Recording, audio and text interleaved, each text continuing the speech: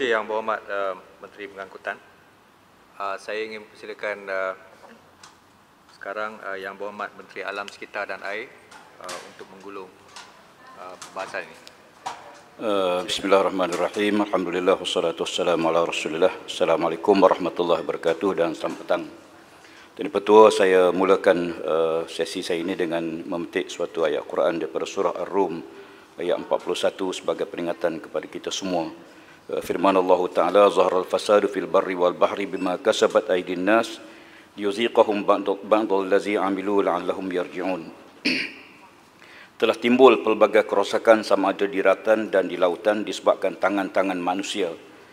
Demikian Allah Ta'ala timpulkan supaya mereka menyedari akibat perbuatan mereka, mudah-mudahan mereka semua insaf. Tadi pertua bagi untuk malaman Dewan yang mulia ini, selama 45 ahli yang berhormat telah pun membahas pelbagai isu yang berkaitan dengan KASA, eh, Kementerian Alam Sekitar dan Air, terutama isu alam sekitar dan air yang dapat dikategorikan kepada empat isu utama. Uh, seramai 35 bahas yang telah pun mengambil bahagian dalam sektor air manakala 10 orang uh, mengambil bahagian dalam perbahasan alam sekitar. Secara keseluruhannya saya ingin mengemukakan jawapan dalam bentuk dalam empat kategori. Yang pertama bekalan air dan sumber air, yang kedua pengurusan banjir, yang ketiga pengurusan alam sekitar dan yang keempat perubahan iklim. Tuan Pertua, izinkan saya beri sedikit ulasan uh, terhadap isu-isu yang dibangkitkan kepada empat perkara ini. Yang pertama, isu uh, bekalan air. Sebelum saya menjawab perkara-perkara dibangkitkan oleh Ali Muhammad mengenai isu perkhidmatan bekalan air, izinkan saya menjelaskan pendekatan polisi dan prinsip-prinsip utama yang didokong oleh Kementerian Alam Sekitar dan Air dalam pengurusan air di Malaysia. Penstrukturan industri bekalan air negara dilaksanakan pada tahun 2006 berpaksi kepada prinsip perkongsian tanggungjawab atau dengan izin share responsibility di antara kerajaan persekutuan dan kerajaan negeri. Dalam konteks ini, perkara-perkara berkaitan dengan bekalan dan perkhidmatan air telah dipindahkan dari senarai negeri kepada senarai bersama melalui pindaan kepada jadual 9 dalam Perlembagaan Persekutuan 2005. Manakala kuasa ke atas hal-hal berkaitan dengan sumber air termasuk memastikan sungai-sungai kita kekal bersih, bebas daripada pencemaran, kekal di bidang kekal di bawah bidang kuasa kerajaan negeri yang ditadbir melalui Badan Kawaselia Sumber Air Negeri masing-masing. Walau bagaimanapun perkara ini tidak terpakai, eh, yang ini tidak dilaksanakan dalam konteks Sabah dan Sarawak kerana punya akta sendiri. Berpandu kepada prinsip inilah Suruhanjaya Perkhidmatan Air ataupun SPAN dan Pengurusan SAI Negara atau PAAP telah ditubuhkan bagi melaksanakan tanggungjawab kerajaan persekutuan Eh, dan tanggungjawab utama Suruhanjaya Perkhidmatan Air adalah untuk mengawal selia operasi syarikat-syarikat air yang hampir kesemuanya dimiliki sepenuhnya oleh kerajaan negeri melalui uh, Menteri Besar yang diperbadankan. Manakala Pak pula diamanahkan untuk menyediakan peruntukan bagi membangunkan infrastruktur air berdasarkan pendekatan bina dan pajak. Untuk itu ada beberapa perkara yang akan saya terus kepada uh, jawapan kepada soalan saya dibangkitkan yang pertama, uh, yang berhormat daripada Pontian. Pontian tak ada, saya ingat saya terus kepada uh, yang Pontian menimbulkan dua soalan pada awal. Ya. Kuala Langat, tak ada juga. Kuala Langat ada. Oh, saya terus. Okey, Kuala Langat. Yang berhormat Kuala Langat uh, membangkitkan isu projek loji rawatan air Langat 2 Eh, dan sistem uh, agihan lori rawatan air Langat 2 fasa 1. Untuk fasa 1 dengan kapasiti 1130 juta liter sehari mampu menampung permintaan air di Lembah Kelang sehingga tahun 2025. Pada masa sekarang sistem B atau stream B logi ini telah beroperasi dengan pengeluaran 325 juta liter sehari seperti yang telah saya jelaskan di mana fasa 2 logi uh, eh, LRA Langat 2 perlu dilaksanakan dalam kerangka pengsuruhan industri bekal air negara di mana ia perlu dimasukkan dalam perancangan pelan perniagaan pengurusan air Selangor Berhad ataupun air Selangor. Untuk makluman pada ketika ini pihak SPAN belum menerima permohonan daripada pihak air Selangor mengenai rancangan cadangan fasa 2 LRA 2. Pengurusan kadar air tidak berhasil ataupun NRW yang lebih efektif terus menjadi fokus utama KASA Untuk itu 1.91 bilion telah diperuntukkan bagi melaksanakan program pengurangan NRW di bawah program NRW nasional di mana 535.5 juta dalam bentuk peruntukan secara langsung dan 1.37 bilion dalam bentuk geran sepadan atau dengan dengan izin matching grant. KASA berharap melalui pendekatan ini kadar NRW negara dapat diturunkan kepada 31% menjelang 2025. Menteri, boleh? Ya, sila. Sikit. Terima kasih. Um, bila saya tanya soalan tentang uh, uh, langat dua fasah dua itu ialah untuk masa depan. Uh, satu-satunya saya ingat sebagai menteri menjaga air dalam kementerian, kita tak payah tunggu sampai negeri nak buat uh, permintaan uh, untuk lanjutkan di dalam plan kita untuk 10 tahun ataupun 15 tahun ataupun sampai 2024, 2028 uh, yang akan datang yang kita tahu bahawa uh, kita akan adakan masalah kekurangan air di dalam uh, Klang Valley sebagainya. So saya ingat inisiatif ini uh, untuk kita bangunkan uh, fasa 2 langak 2 langak 2 itu ialah di tangan kementerian. Untuk minta negeri datang uh, dengan SPAN untuk kita mulakan prosesnya. Uh, untuk kita uh, satu-satu ialah water security di dalam kawasan. Jangan tunggu sampai uh, ujung ni ya, tetapi kita kena mula sekarang. Uh, pandangan uh, menteri Terima kasih saya bersetuju bahawa satu perancangan tentang uh, bekal air negara perlu kita perkemaskan daripada masa ke semasa uh, cuma untuk makluman bahawa uh, kita ada beberapa cadangan ya selain daripada guna sungai Selangor sebagai guna sungai Selangor yang ada dengan pembinaan taps ataupun takungan air pinggiran sungai bagi menampung. Walaupun oleh kerana dia melibatkan soal migrasi di antara kerajaan Selangor dengan kerajaan persekutuan, maka perundingan di antara kerajaan persekutuan dengan kerajaan negeri perlu di, diadakan. Terima kasih. Uh, saya juga ingin menjelaskan bahawa dalam yang dibangkitkan oleh uh, Yang Berhormat, bahawa kerajaan persekutuan terus membuat pelaburan besar bagi meningkatkan kualiti dan perkhidmatan sektor air negara untuk juan ini kerajaan uh, dijangka melabur sebanyak 1.37 bilion di bawah RMK 12 dalam usaha memastikan liputan bekalan air lebih menyeluruh kepada penduduk Malaysia terutamanya di kawasan luar bandar. Yang berhormat daripada KAPA. Uh, Menteri, sorry. Sila. Uh, kalau tak silap saya, saya uh, bagi cadangan untuk minta 10 bilion untuk RMK 12 untuk isu industri air untuk ta- lima tahun yang ke, ke depan. Uh, sebab bukan saja di, di Kelang tetapi di negeri Johor dan negeri Kedah, dua-dua negeri ini yang akan kita nampak kalau kita terbuat sesuatu uh, dalam masa yang tersingkat ni kita akan ada masalah dalam dua tahun. Tapi Kedah, kalau cuacanya buruk macam apa yang kita telah alami, kita akan ada masalah uh, tertentu. Uh, saya minta untuk kementerian buat kajian 1.3 uh, bilion ringgit untuk RMK 12 ini untuk sektor air tak cukup. Memang tak cukup sebab kita ada beberapa program di mana dari Perak kita kena hantar air ke Pulau Pinang, dari utara Johor kita kena bawa air kepada selatan negeri Johor. Kita ada masalah di negeri Melaka dan juga ada sistem air yang tidak bersempurna di dalam negeri Pahang.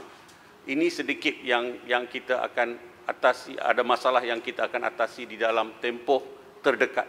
So saya minta uh, kementerian melalui menteri uh, minta lebih. Kalau minta 1.3 bilion you dapat 500 juta saja. So kalau you minta untuk 10 bilion you boleh dapat 2 ke 3 bilion. Itu yang saya maksudkan. Terima kasih.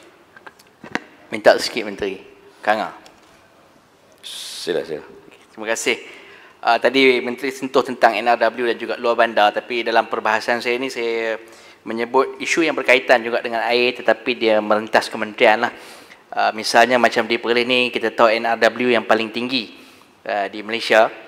Dan uh, sudah banyak tahun kata saya tengok peruntukan mungkin tidak memadai untuk menyelesaikan masalah sebenar. Dan uh, kesan dia dia ada kepada hal-hal yang lain. Misalnya dah beberapa kali berlaku kes kebakaran ha, di Perlis. Jadi bomba nak bertindak air tidak ada. Jadi dia bagi kesan uh, kepada uh, jabatan yang mungkin tidak direct di bawah kementerian ini tetapi kepada kementerian lain. Begitu juga bila berlaku uh, kes kemarau di Perlis uh, jadi jabatan air dan saliran dia terpaksa tutup belat. Jadi air tu tak boleh digunakan pula oleh oleh petani pesawah. Uh, golongan luar bandar yang paling terjejas dari segi ekonomi. Jadi saya harap dari segi perbincangan di peringkat kabinet mesti mengambil kira keperluan merentas kementerian. Itu saja.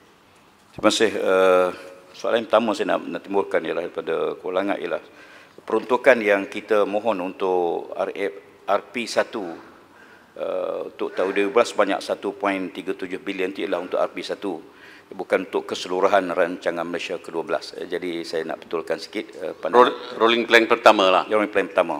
Manakala keseluruhan sebagaimana yang disebut sebanyak 10 bilion di di pohon. Untuk uh, Perlis sebenarnya ada, ada ada jawapan di bahagian belakang cuma saya nak bolehkan dibangkitkan awal. Suka maklumkan bahawa NRW Perlis ialah 64.4% sangat tinggi ya dan kerajaan pusat berperhatian serius untuk menurunkan kadar NRW di Perlis dan ada beberapa langkah yang telah kita ambil supaya isu masalah bekal air pada musim kemarau di Perlis dapat kita atasi. Sebagaimana juga dibangkitkan tadi isu di di Pulau Pinang yang masih dalam perundingan dengan Perak uh, di Melaka Eh, waktu-waktu kemarau masih lagi ada masalah. Terima kasih Tuan Tuan saya nak sambung pada jawapan seterusnya kepada beberapa soalan dibangkit oleh Yang Berhormat Kapa, Kuala Kerai, Pasir Mas dan Kuala Langat. Isunya ialah isu berhubung dengan bekalai Kelantan. Ada empat ahli yang berhormat telah bangkitkan isu ini. Kerajaan Persekutuan komited dalam penyelesaian masalah bekalai di negeri Kelantan. Dalam hal ini, Kerajaan Persekutuan telah pun memperuntukkan secara keseluruhan sebanyak 1.37 bilion untuk memastikan penduduk Kelantan menikmati bekal air yang berkualiti dan terjamin seperti berikut. Pertama, peruntukan sejumlah 196.6 juta bagi pelaksanaan 6 projek di bawah rancangan Malaysia ke-11 hari 4 sekarang. Peruntukan sebanyak 451.8 juta untuk pengurusan SAI berhad FAAP bagi kerja-kerja pembelanjaan modal ataupun CAPEX bagi tempoh operasi ketiga OP3 2018-2020. Yang ketiga peruntukan uh, berjumlah 631.6 juta oleh pengurusan SAI Berhad bagi kerja-kerja pelanjaan CAPEX uh, bagi uh, syarikat air Kelantan AKSB di bawah OP4. Dan yang keempat peruntukan sejumlah 87.2 juta di bawah East Coast Economic Regional Development Council ataupun ECRDC, Kementerian Pengelola Bandar dan Wilayah, Felda dan pihak kesedah. Masing-masing agensi eh, turut sama membantu menyelesaikan masalah bekal air eh, bagi negeri Kelantan. Yang bermakna menimbulkan eh, persoalan berhubung dengan penyelesaian bekal air di Perlis. Eh, saya untuk cadangan penyelesaian saya menyeluruh isu bekal air di Perlis yang dibangkitkan oleh Yang Bermakna telah dibincangkan semasa lawatan kerja saya ke Perlis pada 1 Jun 2020 baru-baru ini. Dalam lawatan tersebut, saya telah menyebut komitmen untuk membantu menangani isu bekalan air perlis di mana dizahirkan melalui peruntukan sejumlah 200 juta di bawah rancangan Malaysia ke-11 yang sedang beroperasi sekarang yang memberi fokus kepada pengurusan air tidak berhasil khususnya uh, uh, isu yang uh, eh, NRW yang sangat tinggi yang telah saya bangkitkan tadi dengan kerja-kerja peningkatan bekalan air seperti baik pulih dan niat taraf logi rawatan air bagi negeri Perlis. Terima kasih, Menteri. Terima kasih. Sama. Uh, Kuala Kedah. Menteri, sedikit ya. tentang Kelantan, air Kelantan. Saya saya saya setuju sangat dengan uh, yang berbuat Menteri bahawa di negeri Kelantan uh, kita kena bantu negeri Kelantan dan buat sesuatu dalam tempoh yang terdekat. Um, satu-satunya uh, saya nak minta uh, juga untuk kementerian uh, kaji bawah penggunaan air di bawah tanah yang sedang dilakukan di dalam negeri Kelantan. Uh, kena kita berhentikan dan sama kita buat kajian untuk gunakan air-air sungai. Sebab Kelantan ni ada banyak air sungai. Sebab sebab itu saya ingat satu kajian dan satu gerak kerja di dalam tempoh lima tahun yang akan datang mesti dibuat untuk bantu negeri Kelantan untuk atasi masalah yang mereka hadapi dengan air di bawah tanah yang katakan salt water intrusion telah pun dimula. Kalau bagi itu, kalau kita tak buat sesuatu, di dalam uh, jangka masa yang terdekat, kita akan ada masalah besar di Kelantan. So saya saya harap bahawa menteri uh, untuk Kelantan ni, uh, menteri pun dari Kelantan, uh, membuat sesuatu dalam tempoh lima tahun yang akan datang. Plan ni mesti ada untuk negeri Kelantan untuk di, dibuat cepat mungkinnya. Ya. Terima kasih uh, Yang Muhammad Kuala Langat. Saya nak uh, maklumkan bahawa pendekatan air bawah tanah untuk Kelantan kita hentikan. Sebenarnya Kelantan terlalu banyak mengambil air bawah tanah, 51% dan kita mula beralih kepada bekalan air uh, surface water, air, air, air aliran. Dan kita dapati ada ada empat projek besar yang bagi mengatasi jangka panjang air, air di Kelantan. Uh, di samping isu uh, memulakan beberapa pembinaan taps takungan air pinggiran sungai ataupun di ORS uh, dalam istilah lama, kita juga menaik taraf beberapa loji utama ya, yang buat masa ini tidak cukup bagi menampung keperluan di Kelantan. Di waktu yang sama kita juga menyedari Pantai Timur khususnya Kelantan, Terengganu dan Pahang waktu musim banjir eh, di negeri-negeri ini sangat kritikal, banjirnya sangat teruk. Tapi waktu kemarau dia dia tidak ada air. Jadi kita lihat ada satu mekanisme perlu kita buat untuk menyelesaikan dua masalah serentak. Pertama, isu menyelesaikan masalah banjir di Kelantan, mengurangkan uh, banjir di Kelantan. Yang kedua, kita perlu ambil kesempatan dengan waktu air yang banyak ini bagi memastikan Kelantan mendapat bekalan air. Terima kasih pada Walangat yang telah pun mengambil sebelumnya yang saya saya fikir satu tindakan yang proaktif yang telah pun dibuat bagi pihak kementerian. Saya menyambung mana-mana nilai yang baik yang telah dibuat oleh mana-mana pihak sebelum ini. Terima kasih. Uh, Yang Mohd Menteri berkenaan dengan banjir di Pulau Pinang di kawasan Jelutong adakah Yang Mohd Menteri akan menyentuhnya? Uh, Jelutong akan sampai. Terima kasih. Tunggu. Uh, bagi soalan daripada Kuala Kedah Dr. Az Kuala Kedah? Tak ada tak ada saya saya akan beri jawapan secara bertulis. Merbuk. Ada ada merbuk ada. Okey, ada, mas, ada. Uh, merbuk. Ya. Mohon uh, merbuk uh, memohon kerajaan menyelesaikan masalah bekal air di kawasan merbuk. Untuk makluman eh, masalah bekal air dibangkitkan oleh yang merbuk dijangka dapat diatasi apabila kerja-kerja naik taraf LRA Bukit Selambau yang dalam proses dalam pembinaan dijangka siap pada Mei 2022. Untuk makluman yang berhormat juga bahawa Kerajaan Negeri Kedah telah pun melantik pihak JKR untuk untuk melaksanakan projek ini. Dan kita harapkan dengan tempoh yang telah kita beri, isu masalah air di kawasan Merbuk dapat kita atasi. Yang berhormat Gerik, eh, Papar, Tanjung Manis dan Libaran membangkitkan isu bekalan air di luar bandar. Persoalan dibangkitkan oleh Yang Berhormat Gerik merujuk kepada projek air luar bandar yang terletak di bawah KPLB ya, untuk makluman. Soalan berkaitan dengan bekalan air luar bandar juga dibangkitkan oleh Abim Papa, Tanjung Manis dan Libaran. Namun begitu ingin saya jelaskan bahawa Kementerian Alam Sekitar dan Air terkasar melalui Jabatan Alam Sekitar dan bahagian bekalan air bekerjasama rapat dengan KPLB agar projek air luar bandar dapat dilaksanakan secara berkesan dan mencapai objektif yang telah ditetapkan. Untuk itu, satu jawatan kuasa bersama antara KASA dan KPLB telah ditubuhkan memberi fokus kepada perkara-perkara berikut. Yang pertama, kerjasama teknikal bagi memperkukuhkan kerjasama antara agensi KASA dan KPLB. Yang kedua, pematuhan kepada keperluan di bawah Akta Industri Perkhidmatan Air 2006, Akta 655. Yang ketiga, eh, menggalakkan idea baru dan inovasi dalam pelaksanaan bekalan air luar bandar dan yang keempat, memastikan kemudahan bekal air bersih dan terawat sentiasa diutamakan supaya taraf kesihatan dan kualiti hidup masyarakat luar bandar dapat dipertingkatkan. Saya juga ingin mengajak Yang Berhormat uh, Gerik dan, dan Menteri. Yang Berhormat semua. Sedikit. Ya. Uh, saya setuju sangat uh, dengan apa yang dikatakan uh, kerjaan jawatan kuasa yang bersama dengan uh, KPLB dan juga Menteri. Tetapi saya ingat masa sudah sampai di mana isu air ini di seluruh Malaysia di bawah satu kementerian. Ya, adakah uh, kementerian uh, air ini ambil alih semua kuasanya adakah dia dari luar bandar ataupun Felda, Felkra dan sebagainya semua ini kena diletak di bawah menteri kementerian air di mana kementerian ini boleh buat kajian dan boleh kerja dan buat sesuatu yang uh, sesuai untuk seluruh negara. Uh, this is something important. It has to come under one ministry. Lepas yeah. tu kita boleh kerja bersama. Terima kasih. Uh, sebenarnya saya sangat bersetuju ya, dengan cadangan tersebut bahawa seluruh isu air ini sepatut diletakkan di bawah satu kementerian. Uh, mungkin pengalaman Kuala ya, sebelum ini, di mana bila ada masalah air berlaku, ya, kementerian akan di akan didatangi oleh pelbagai pihak. Beaufort, Beaufort tak ada sedih. Masalah Beaufort macam itu.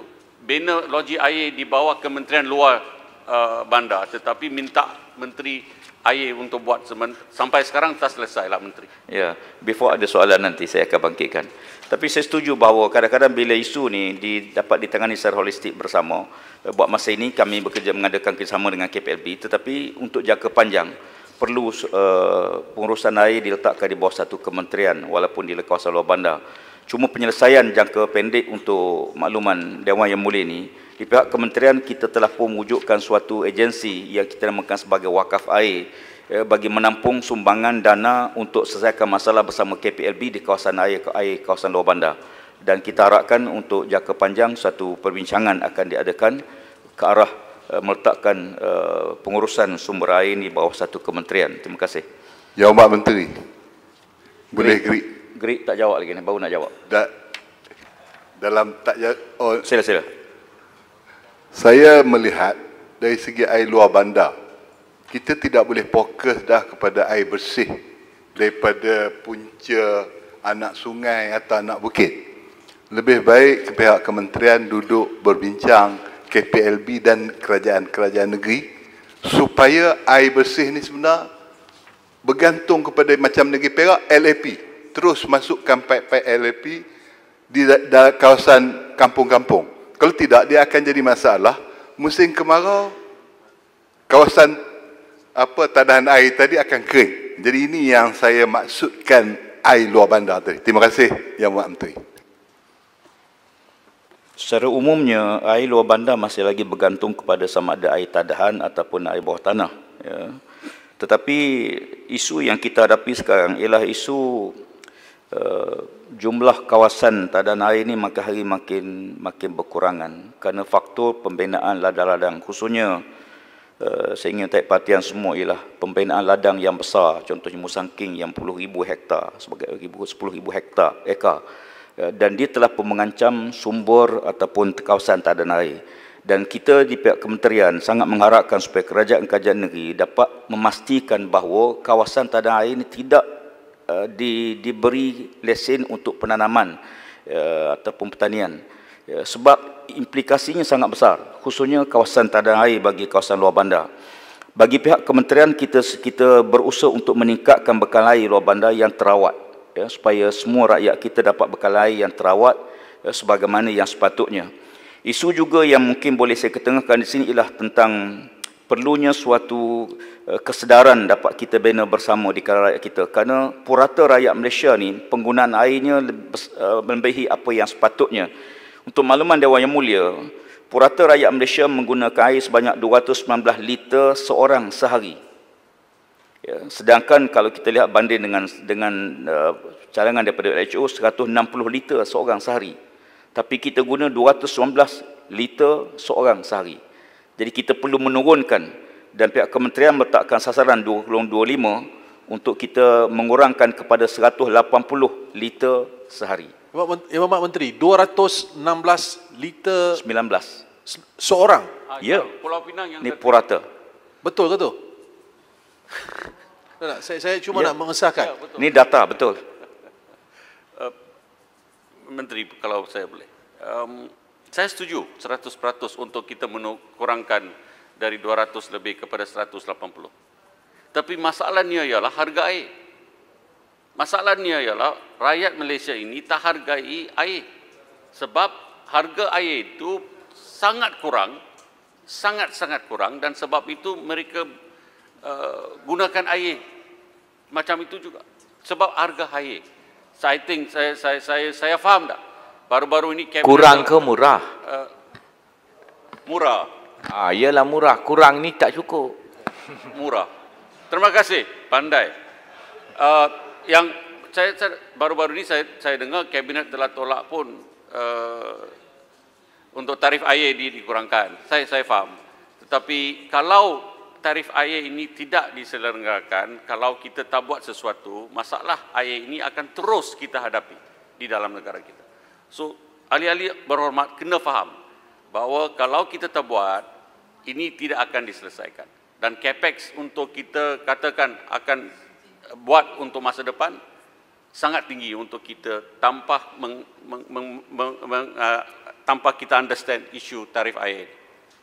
Saya Muhammad, uh, soal itu tarif air sebagaimana yang telah kita sebut dalam Dewan Yang Mulia ini, sebagai jawapan saya bahawa kerajaan buat masa ini tidak bersedia menambah beban rakyat yang tengah susah uh, dengan COVID, dengan pembuangan kerja dan sebagainya.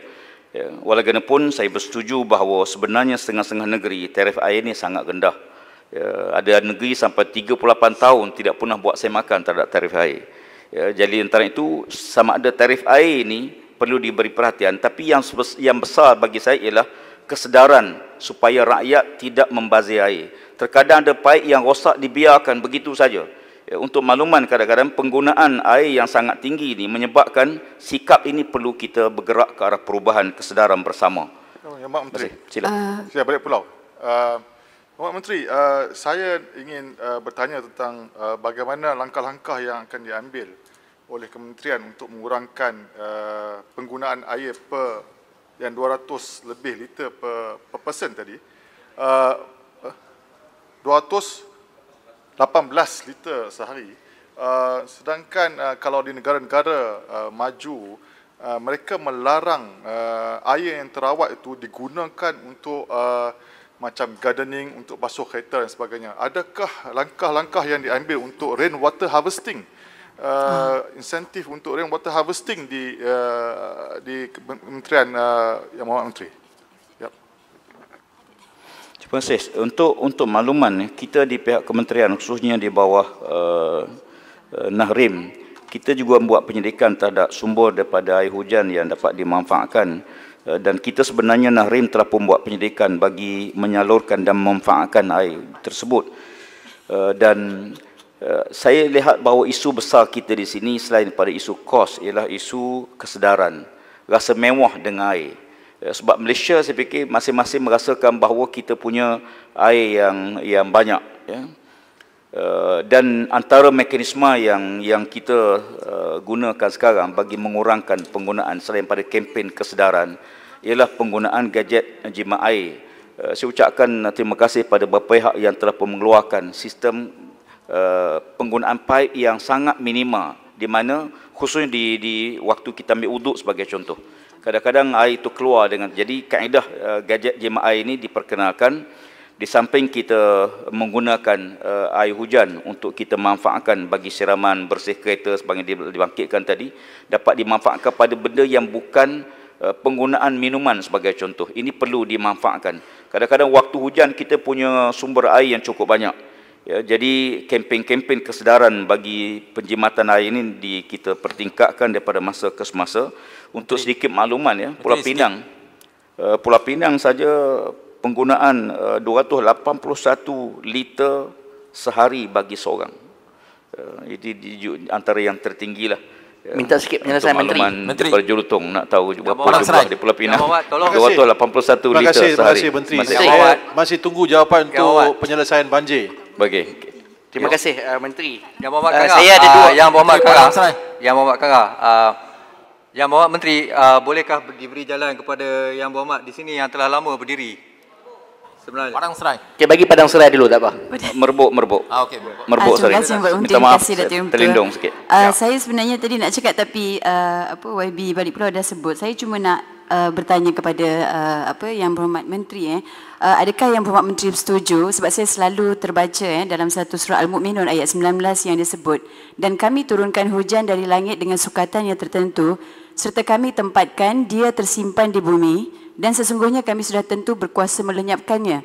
Jadi daripada surah ini, adakah Wahai Berhormat uh, Menteri bersetuju bahawa sebenarnya air ini perlu diurus dengan baik dan maka tidak berlakulah banjir uh, dan juga termasuk rainwater harvesting.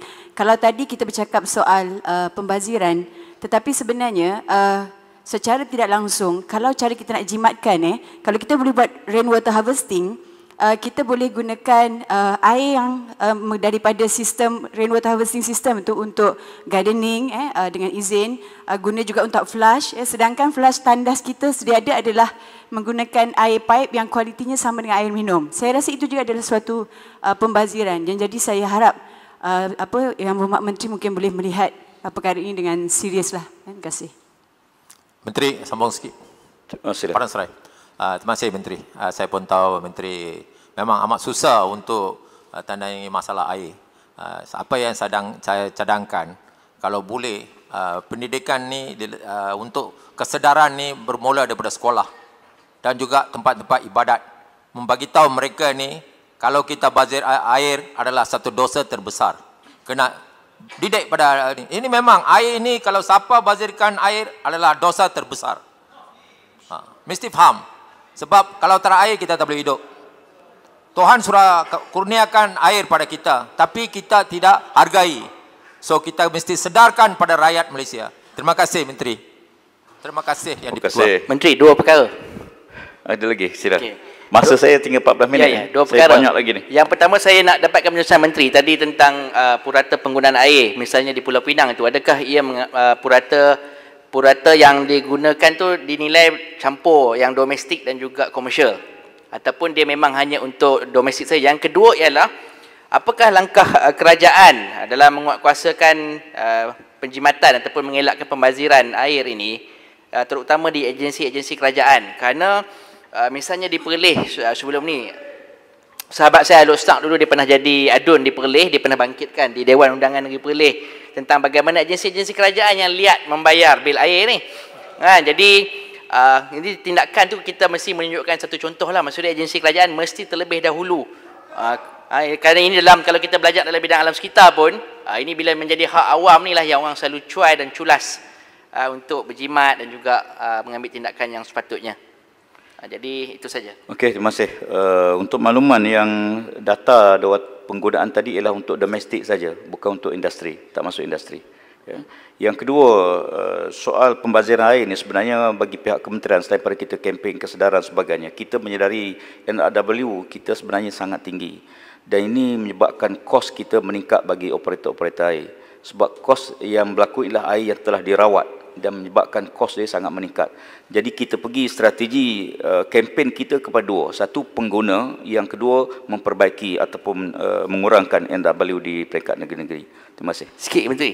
Ada lagi? Uh, saya last last. Uh, last uh, kita ambil misalnya kalau dalam isu alam sekitar juga kalau plastik kita duk cakap pasal kurangkan penggunaan single use eh, sekali guna. Bagaimanakah kita dapat uh, adakan teknologi yang mengelakkan uh, dalam di tempat-tempat tertentu misalnya masjid? Kita sekali guna ambil wuduk masuk longkang kemudian habis. Sedangkan air tu kita boleh gunakan. Misalnya PBT boleh gunakan untuk uh, siram eh, pokok-pokok hiasan yang dibuat. Uh, saya ingat itu pun boleh dia difikirkan oleh pihak kementerian. Okey, sebenarnya banyak cadangan-cadangan yang kita uh, dalam perancangan pihak kementerian bagi menimbulkan kesedaran atau meningkatkan kesedaran pada penggunaan air ini. Bahkan sistem uh, penggunaan kita sebenarnya masih lagi uh, perlu kita uh, kawal selia dari sudut uh, pertama sekali uh, manfaat air yang ada ya, terutama air daripada industri yang kita kita semula perlu dimanfaatkan balik. Sekarang ni kita lepaskan uh, banyak ke sungai semula. Sedangkan itu sepatut kita boleh hantar ke industri ya, untuk kegunaan industri. Di waktu yang sama juga kita berusaha untuk kesedaran agensi-agensi termasuklah agensi kerajaan yang yang liat bayar bil dan sebagainya. Sebab tu kita harapkan supaya keutamaan diberi kepada uh, agensi kerajaan untuk menjelaskan tunggakan-tunggakan bil supaya operator dapat operasi dengan baik dan di waktu sama dia boleh meningkatkan kualiti perkhidmatan air di peringkat negeri sebagai contoh dengan kos yang tinggi untuk baik pulih tanpa kewangan yang kukuh agensi ataupun operator juga berdepan dengan masalah yang sangat serius terima kasih dan betul saya uh, ingin terus pada soal kinabatangan dan tak ada Beaufort Beaufort tak ada Labuan Labuan pun tak ada. Uh, Bukit Bendera. Ada. Terima kasih. Bukit Bendera menim, uh, untuk cadangan skim bekal air mentah di daripada Sungai Perak. uh, yang dibangkitkan oleh Yang Berhormat Bukit Bendera melibatkan dua komponen. Yang pertama, pembinaan terowong air mentah bagi penyaluran air mentah daripada negeri Perak ke Pulau Pinang secara geran oleh Kerajaan Persekutuan. Yang kedua ialah pembinaan loji rawatan air melalui pembiayaan oleh pengurusan aset air berhad ataupun PAAP Kajian bagi komponen terowong air mentah dijangka dapat dimulakan pada September 2020 dan siap pada September 2021. Manakala komponen LRA yang akan dipohon oleh operator air melalui rancangan perniagaan yang akan dikemukakan untuk kelulusan Suruhanjaya Pengurusan Air Negara. Pelaksanaan projek ini dapat dimulakan uh, dimulakan setelah kedua-dua negeri memuktamadkan pendekatan pelaksanaan projek yang menyentuh isu dasar berkaitan bidang kuasa ke atas sumber air. Oleh itu, kementerian ingin mencadangkan agar kedua-dua negeri segera mencapai persetujuan memandangkan projek ini penting untuk menangani masalah ketidakcukupan air di kawasan utara Perak dan di negeri Pulau Pinang. Yang berhormat di Peraup membangkitkan isu ada. Peraup tak ada, saya skip. Uh, masalah pengurusan banjir Bakri ada. Terima kasih. Saya uh, untuk kejadian banjir yang berlaku di beberapa kawasan daerah Muar pada 20 Jun 2020 dan 13 Julai 2020 ia dibangkit oleh Yang Berhormat Bakri adalah disebabkan oleh uh, hujan lebat yang berterusan melebihi 4 jam. Dengan bacaan hujan uh, kumulatif sebanyak 87 mm dan juga berlakunya pertembungan air pasang semasa tempoh hujan turun. Bagi menangani masalah banjir kawasan tersebut, kementerian telah pun menyalurkan peruntukan kepada Jabatan Pengairan dan Saliran Negeri Johor berjumlah RM278,888.50 untuk pelaksanaan projek-projek kecil di bawah Parlimen Bakri. Untuk makluman, di antaranya ialah kerja mengurangkan risiko banjir di Parit Wahid, kawasan Saliran Muar sebanyak RM91,339.50 menggali dan mendalam parit keliling Sungai Abong dan parit Sungai Jeram di kawasan saliran Mua sebanyak RM87,216. Eh, projek pemuliharaan sungai untuk mengurangkan resiko banjir, menggali dan membersihkan parit tengah skim saliran Sungai Sarambuaya Mua sebanyak RM100,000. Baik, uh, Pasir Mas ada. Pasir Mas dan uh, Macang Uh, menimbulkan soalan tentang masalah banjir di Sungai Golok. Bagi mengatasi masalah banjir Sungai Golok yang dibangkitkan oleh Yang Berhormat Pasir Mah dan Yang Berhormat Macang, kerajaan telah memuluskan projek pembangunan lembangan sungai bersepadu PLSB Sungai Golok ataupun Kesban fasa 1 dalam rancangan Malaysia ke-11 dengan kos peruntukan sebanyak 656 juta. Projek ini telah pun bermula pada 23 April 2018 dan jangka siap pada 20 April 2022. Untuk makluman kemajuan uh, kerja fizikal di tapak ialah sebanyak 19% setakat 19 bulan Julai 2020 dan saya telah pun turun mem, uh, melihat sendiri projek ini dan uh, pencapaian yang telah pun dicapai oleh uh, hingga setakat ini. Bagi kawasan rantau panjang, khususnya kawasan bandar rantau panjang dan seterusnya, Pelaksanaan projek jang, uh, dijangka akan dilaksanakan dalam projek pembangunan lembaran sungai bersepadu Sungai Golok Fasa 2. Untuk makluman, sebelum ini kita ada tiga fasa. Fasa 1, Fasa 2 dan Fasa 3.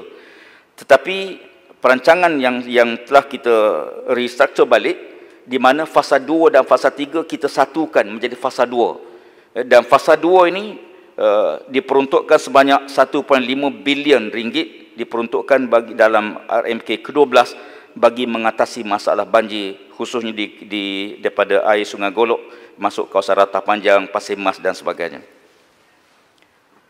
Uh, macam ada macam membangkitkan uh, status tabatan banjir di sepanjang Sungai Kelantan. Untuk makluman yang berhormat, di bawah rancangan Malaysia ke-11 bagi mengatasi masalah banjir di Kelantan dibangkitkan Eh, kerajaan telah memuluskan projek pembangunan lebangan sungai bersepadu Sungai Kelantan Fasa 1 untuk dilaksanakan oleh Kementerian Alam Sekitar dan Air melalui Jabatan Pengairan dan Saliran. Kos yang diperuntukkan bagi fasa 1 ialah sebanyak 572.25 juta bagi mengatasi masalah masalah banjir. Projek pembangunan lembangan sungai bersepadu Sungai Kelantan Fasa 1 dilaksanakan secara reka dan banner uh, design and build dan uh, projek telah pun bermula pada 29 Januari 2018 dan tarikh siap pada 28 Mei 2021. Untuk makluman uh, hingga setakat ini kemajuan di tapak ialah sebanyak 39% uh, setakat 18 Jun 2020. Ahli Parlimen Papa tak ada. Ya, Mohd Menteri. Ya, sila. Terima kasih, Mohd Menteri. Terima kasih, Tuan Yang Pertua. Uh, untuk rancangan Malaysia yang ke-12, berapakah uh, peruntukan yang dipohon oleh pihak kementerian bagi tujuan tebatan sungai Kelantan untuk mengelak daripada banjir? Terima kasih, Mohd Menteri. Baik, untuk makluman bahawa fasa, kita ada dua fasa dalam uh, pembangunan lembangan sungai uh, Kelantan ini. Saya tersebut tadi fasa satu ialah sebanyak uh, uh, diperuntukkan uh, uh, sebanyak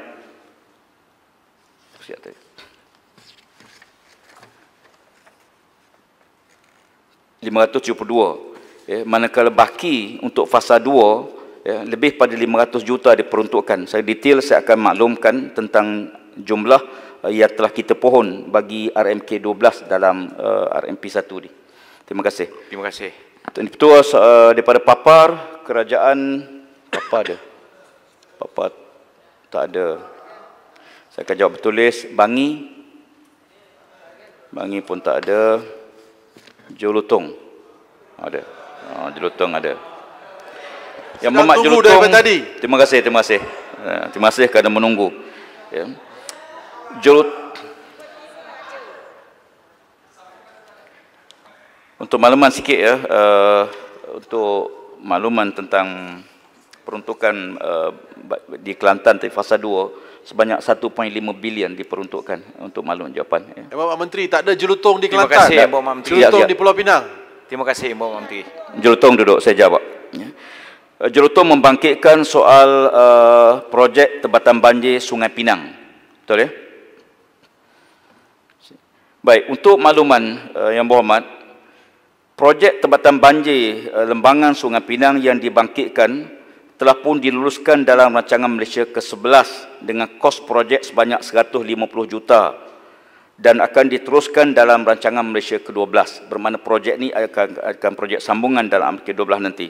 Untuk makluman kawasan tadahan lembangan Sungai Pinang meliputi kawasan seluas 52.04 km persegi Eh, di mana Sungai Pinang merupakan sungai utama dengan tujuh aliran anak sungai iaitu Sungai Jelutong, Sungai Air Hitam, Sungai Air Terjun, Dondang, Air Putih, Sungai Kecil dan Sungai Mati. Walaupun nama mati tapi sungai ini hidup. Ya.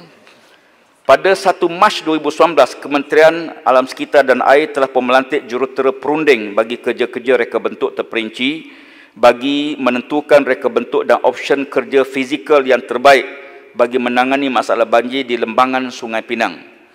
Projek tebatan banjir lembangan Sungai Pinang ini masih dalam peringkat reka bentuk terperinci dan dijangka akan ditender pada tahun 2021 dan projek ini uh, dijangka siap pada tahun 2025 uh, dalam uh, perancangan pihak kementerian.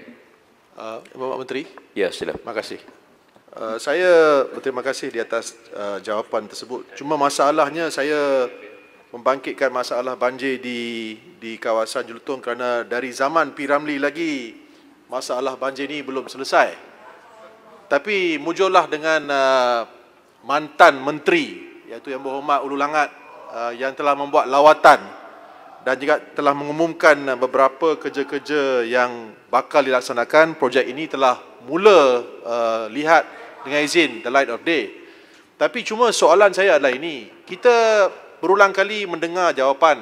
Ini adalah kali pertama aja yang Bapak Menteri memberi jawapan tentang jumlah agihan dan sebagainya. Cuma saya ingin tanya, kalau ada apa-apa langkah-langkah yang akan diambil dengan segera, kerana tiap-tiap kali datangnya musim hujan, Bapak Menteri akan dapat makluman daripada kaki tangan dan uh, pegawai-pegawai di kementerian bahawa uh, rakyat di kawasan Jelutong khususnya Jalan Piramli uh, di Kadun Datuk Rahmat sentiasa mengalami masalah. So bolehkah saya menjemput Yang Berhormat untuk datang membuat lawatan supaya langkah-langkah segera boleh diambil dalam masa kita menunggu uh, uh, projek itu dilaksanakan. Baik, terima kasih. Saya ingatkan 22 bulan PS Mentah boleh selesai. Pun tak selesai juga ya. Muhammad, Terima kasih lah. Tapi, Tapi saya dalam masa bagi ko- 22 bulan itu, Menteri telah membuat lawatan Ya, dan telah lah. memulakan beberapa langkah-langkah Ha. uh, langkah-langkah uh, projek itu Tak dilaksanakan. apalah, tak apa. Terima kasih. Tapi saya di saya jemputan tu terima kasih. Saya bersedia di mana-mana saja untuk turun. Ya, saya- saya Eh, cuma- tanpa mengira kawasan Ya, saya- pembangkang saya ataupun cuma kawasan. tak mau Pulau Pinang dipinggirkan sekarang. No, itu tidak. adalah komitmen yang saya perlu daripada Yang Berhormat Menteri. Kita tidak pernah ambil. Itu alam sekitar dan isu air ni bukan isu, isu melentas, merentasi parti politik, merentasi agama dan merentasi sepadan geografi. Eh, kita akan bantu siapa-siapa saja. Terima kasih. Saya ini masih panjang No, lagi. masalahnya, Masa saya Menteri. dah habis. Daripada dulu masa zaman Barisan Nasional janji yang sama dibuat. Tapi Itulah. rakyat di rakyat di Jelutong masih lagi susah. Terima kasih. Ya, sebab tu saya YB Jelutong, tolong. Speaker, dah- soalan dah saya petang belum ya. dijawab lagi. Isu penting juga. Saya banyak so, banyak lagi yang nak perlu jawab dan Yang Berhormat saya Menteri, sebenarnya uh, masih Yang Berhormat ada Menteri, ada 25 soalan muka surat lagi yang untuk menjawapan. Jadi saya ingat Last, kalau last. banyak sangat gangguan saya, Saya, tak um, sempat nak jawab semua. Datuk Speaker. Yang Berhormat Menteri, saya tambah masa Yang Berhormat Menteri uh, 10 minit. Terima kasih. Terima kasih. Tuan Speaker, Tuan Speaker, uh, kalau boleh uh, kita terus kepada polisi-polisi menteri uh, uh, sektor alam sekitar dan perubahan iklim sebab ada banyak juga uh, uh, yang kita telah bangkitkan yang berkenaan dengan polisi kebangsaan yang untuk untuk isu-isu tempatan jika boleh uh, menteri boleh bagi uh, jawapan bertulis kalau boleh Ya, kita terima bincang kasih, terima kasih. polisi kebangsaan dulu uh, jika bolehlah kita utamakan 10 minit ini untuk Saya- bincangkan saya Dia masing-masing yang bertanya ni dia sedang menanti jawapan masing-masing. Jadi saya perlu beri perhatian sebab saya yakin masing-masing yang berhormat mena- menanti ialah untuk mendengar jawapan di kawasan yang dibangkitkan. Tak, tak. Ini ini uh, ialah uh, satu program keseluruhan. Saya ke- kena ada sedikit satu minit saja. Um, ada tiga perkara yang saya nak bangkitkan di sini. Satu ialah macam mana pendirian uh, kementerian sekarang dengan gunakan sumber air di bawah tanah untuk kita majukan uh, sistem air di dalam negara kita. Nombor satu, underground uh, water usage. Nombor dua ialah macam mana kementerian menghadapi isu public-private partnership untuk kita ada kemajuan di dalam industri air untuk masa depan yang akan datang. Nombor tiga ialah Akta Wasia. Akta Wasia ini sudah dekat dengan dekat dekat dengan 20 tahun. Saya ingat kita kena kembali balik kepada Akta Wasia untuk kita buat kajian dan juga untuk bersuai Akta Wasia ini untuk masa depan yang akan datang. The next 20-25 years untuk kita pastikan bahawa akta itu memang relevan untuk masa depan yang akan datang. Terima kasih. Terima kasih Tuan Tiba. Cuma saya ingat ni soalan-soalan baru yang saya perlu beri jawapan saya bertulis lah. Ya, uh, saya masih lagi banyak soalan yang dibangkitkan dalam perbahasan yang saya perlu beri keutamaan. Walaupun uh, saya mengambil perhatian kepada apa yang dibangkitkan oleh Yang Berhormat. Terima kasih. Uh, saya nak pergi pada beberapa persoalan dibangkitkan masih lagi dalam isu uh, banjir ni banyak kawasan termasuk juga kawasan Hulu Langat yang berhormat Hulu Langat ada di sini. Uh, Tuan ada. Menteri terus kepada alam sekitar saya ingat lebih baik. Okey. Hakisan pantai, saya ingat saya skip dah saya akan jawab soal subuh dengan isu pengurusan alam sekitar. Yang berhormat daripada Bakri mengemukakan persoalan apakah pihak kerajaan bercadang untuk uh, meneruskan atau meluluskan untuk rangka Akta Jerubu Meretas Sempadan Transboundary Boundary Haze Act uh, yang telah pun dicadangkan di peringkat Kerajaan Pakatan Harapan. Untuk maklumat yang berhormat Bakri, kerajaan sekarang, Kerajaan Pakatan Harap, uh, Perikatan Nasional, semasa mesyuarat Jemaah Menteri pada 24 Julai 2020 telah pun memutuskan untuk tidak meneruskan cadangan penggubalan rang Undang-Undang Jerubu Meretas Sempadan. Perkara ini mengambil kira pengalaman uh, negara jiran kita Singapura dan maklum balas daripada pakar-pakar undang-undang termasuk Jabatan Peguam Negara di mana rang undang-undang yang dicadangkan oleh oleh Kerajaan Pakatan Harapan tindakan hanya dapat diambil terhadap syarikat milik ataupun berkaitan Malaysia yang beroperasi di luar negara sekiranya bukti jelas daripada negara yang menjadi punca jerubu merentas sempadan diperolehi. Bukti seperti maklumat pemilik tanah peta uh, koordinat uh, lokasi aktiviti pembakaran hutan dan tanah tidak akan dikongsikan oleh negara punca jerubu dengan negara lain memandangkan ia mempunyai implikasi kepada keselamatan dan kedaulatan negara terbabit.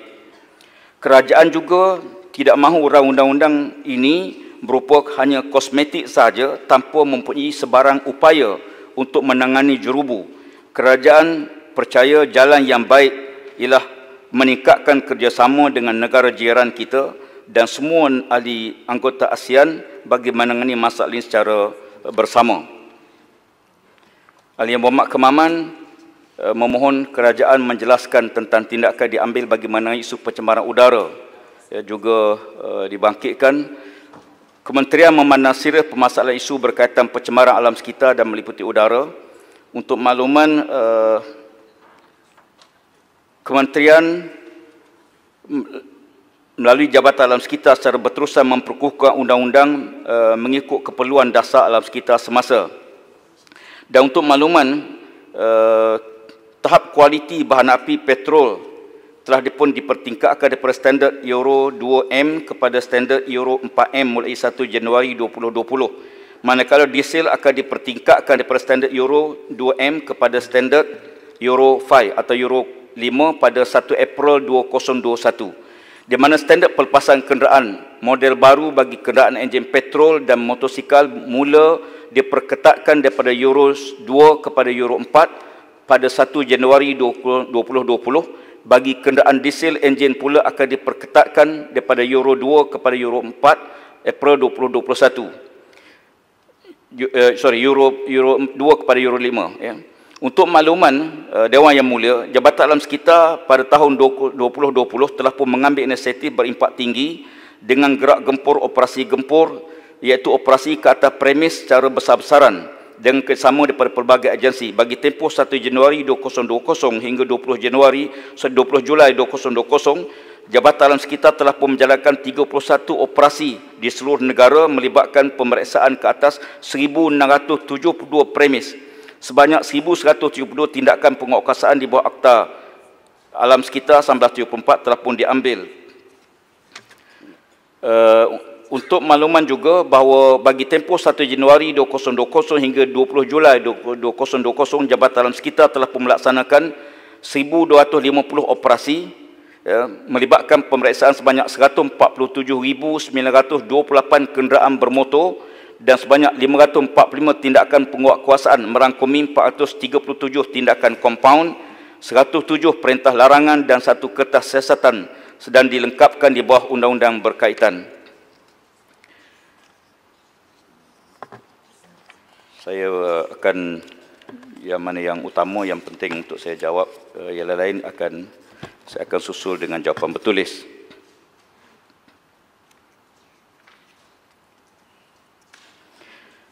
Bakri juga menimbulkan soalan mencadangkan supaya kerajaan meneruskan usaha pemerkasaan Jabatan Alam Sekitar.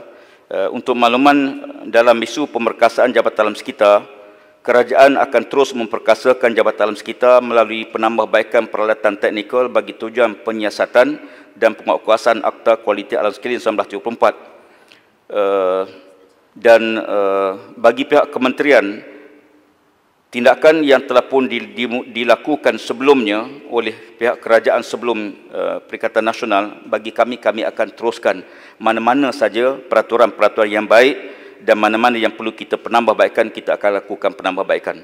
Uh, Tuan Speaker, Sila. boleh saya minta penjelasan? Uh, Menteri, adakah uh, AKAS 1974 akan dipindah dan apakah timeline? Sebab sebelum ini inisiatif kita memang kita nak uh, table di Parlimen pada tahun ini juga. So apakah timeline sekarang untuk pindaan AKAS 1974?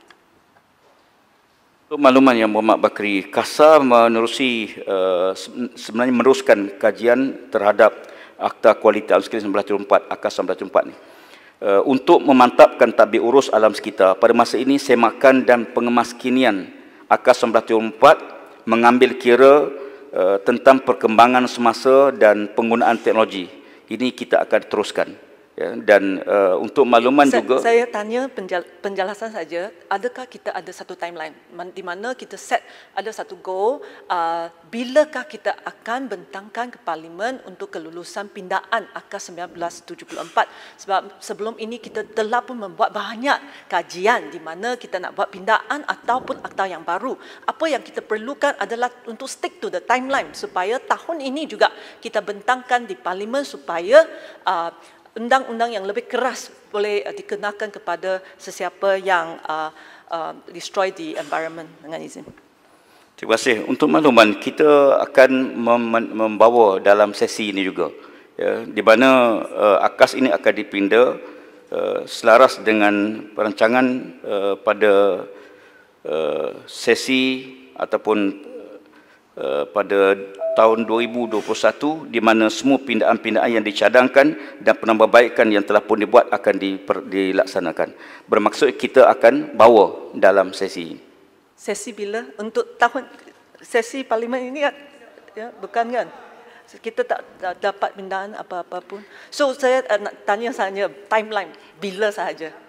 Ya. Untuk makluman, Ya, kita sesi ini- kita merangka pada sesi ini untuk itu. Tetapi oleh kerana uh, terlalu banyak akta akan dibawa, kita jangka pada sesi parlimen akan datang kita akan bawa dalam pembahasan. Terima kasih. Terima kasih.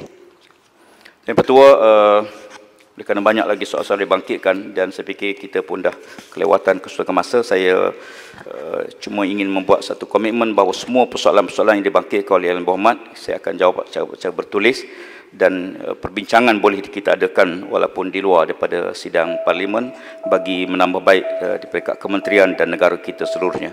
Terima kasih Tuan Ketua. Assalamualaikum warahmatullahi wabarakatuh. Salam. Terima kasih Yang Berhormat uh, Menteri Alam Sekitar dan Air.